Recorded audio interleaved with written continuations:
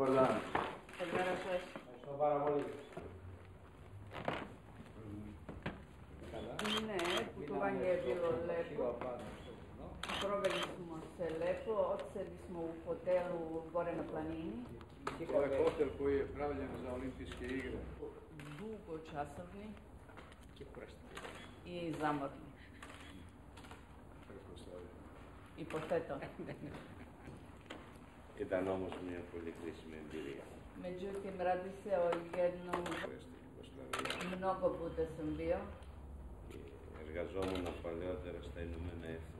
E, Ranije sam radio u Ujedinjenim nacijama And I believe really that the prospects uh, are quite good. And these impressions, uh, the discussions that we have had, I intend to convey to my colleagues, the ministers of defense at NATO, at uh, the meeting we will have next Thursday. Will there be a release of hostages?